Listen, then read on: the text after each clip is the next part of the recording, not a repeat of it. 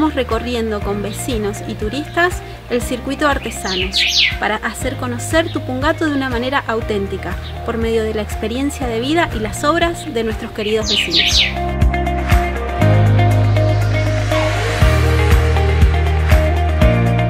Soy Mónica, artesana de Tupungato.